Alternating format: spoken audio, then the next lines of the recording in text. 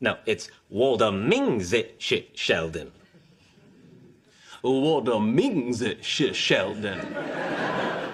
What's this? That's what you did.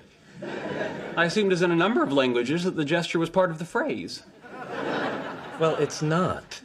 Why am I supposed to know that? As the teacher, it's your obligation to separate your personal idiosyncrasies from the subject matter.